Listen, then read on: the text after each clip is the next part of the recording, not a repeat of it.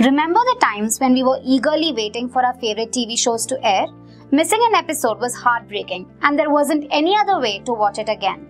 But now, thanks to the flexibility online media streaming services provide, you don't have to worry about missing any of the episodes. So, which show are you currently watching? Right now, I'm watching Money Heist on Netflix, and it's a really good show. Speaking of Netflix, have you guys ever wondered how Netflix works? Well, today we're going to talk about the science behind Netflix. Netflix is considered to be one of the biggest internet television networks with 158 million paying subscribers across the globe. Starting off in 1997, it allowed people to rent DVDs online. In 2007, it came out with its own streaming services. Customers could watch shows and movies on their computers, TV screens, phones, or gaming devices. In 2013, it began competing directly with TV networks and cable for original content. As of 2019, Netflix is the world's largest online streaming service. But how did that happen? What does Netflix do that its competitors don't? Well, the answer is machine learning, AI, and big data analytics.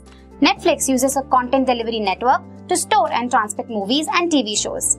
First, Netflix gets the content by negotiating licensing deals with TV shows and filmmakers. Depending on the location, popularity, and purchasing rights, Netflix displays different content for its users across the globe. That is why what you watch in the US is different from what you watch in India. But do you know there are also few shows and movies which are common to all the users irrespective of their locations like Netflix originals House of Cards, hit TV shows and new releases? Netflix has over 7000 movies and shows and it is nearly impossible for us to find what we'd like to watch. So how does Netflix recommend these shows? To do this job, Netflix uses its recommendation engine. Imagine if you were new to Netflix. In the beginning, you would have to take up this survey and pick up the genres you are interested in. But after that, Netflix fine tunes its recommendations to provide you with a more personalized experience, which means my recommendation list will be different from yours. Machine learning is necessary for this method because it uses user data to make informed suggestions. Data such as what you have watched previously, your ratings, search history, and so on. All this complex data is analyzed and finally a conclusion is drawn. In addition to these personalized engines, what else catches your attention?